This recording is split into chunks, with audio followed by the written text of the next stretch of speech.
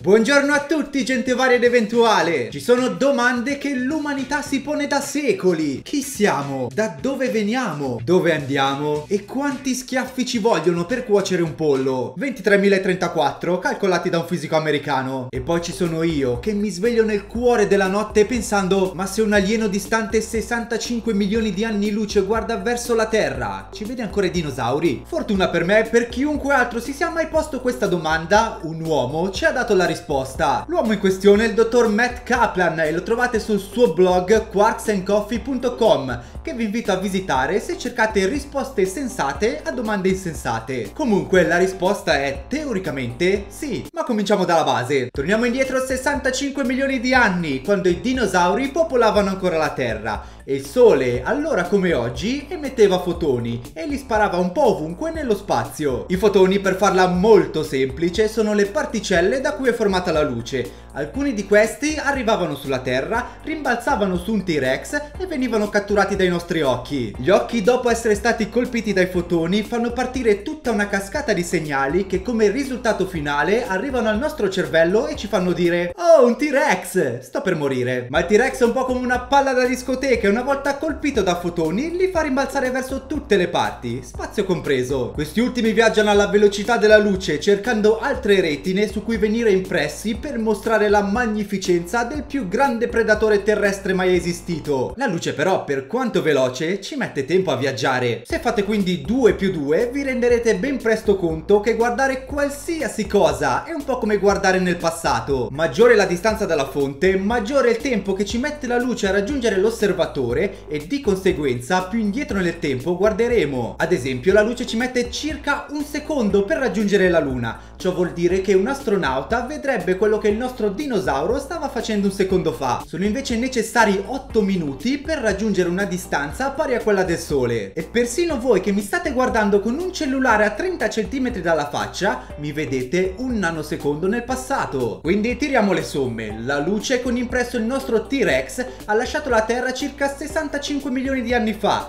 e ora si trova a 65 milioni di anni luce di distanza. Perciò sì, se gli alieni sapessero dove puntare i telescopi, riuscirebbero di sicuro a vedere i dinosauri. Il problema però adesso è un altro. È possibile per una civiltà ultra tecnologica costruire un telescopio abbastanza potente? 65 milioni di anni luce è una distanza immensa e la Terra è molto piccola. Giusto per darvi un metro di paragone, la maggior parte delle stelle che potete vedere di notte sono entro 1000 anni luce di distanza. La nostra galassia è larga circa 100.000 anni luce, mentre Andromeda, la galassia più vicina a noi, è a 2 milioni e mezzo di anni luce di distanza. Se sei a 65 milioni di anni luce e vuoi vedere la Terra, hai bisogno di un telescopio parecchio grande. Morale della favola, usando quello che sappiamo sulla risoluzione delle lenti, i fisici hanno calcolato che agli alieni servirebbe un telescopio del diametro di 50 milioni di chilometri, che se non siete pratici di distanze è circa un terzo della distanza che separa il Sole dalla Terra. E questo sarebbe solo per vedere la Terra delle dimensioni di un pixel. Tutt'altro discorso è se oltre alla Terra vogliono vedere anche il T-Rex. Allora dovrebbero procurarsi una lente larga 4,4 milioni di anni luce. E lo vedrebbero lo stesso come un puntino. Potrebbe essere sia un T-Rex che un volgare triceratopo. E per distinguerli servirebbe una lente ancora più grande. E secondo voi una civiltà ultra avanzata avrebbe le capacità per costruire tale lente? Ve lo dico subito, no. E non perché gli alieni siano gente brava ma che non si applica. Il motivo ce lo spiega la teoria della relatività di Einstein, la quale dice che la materia curva lo spazio-tempo e quindi più massa abbiamo, più lo spazio viene curvato. E se mettiamo troppa massa in un punto, la curvatura dello spazio-tempo sarà così estrema da formare un buco nero. E una palla di vetro larga 28 minuti luce abbastanza massa per collassare su se stessa formando un buco nero. Motivo per cui ogni tentativo di creare una lente più grossa di così porterà inevitabilmente i nostri alieni al fallimento. Quindi in teoria sì, la luce che trasporta l'immagine del nostro T-Rex è ancora là fuori nello spazio, ma sfortunatamente nessun alieno potrà mai vederla e farsi grosse risate sulle loro braccine corte.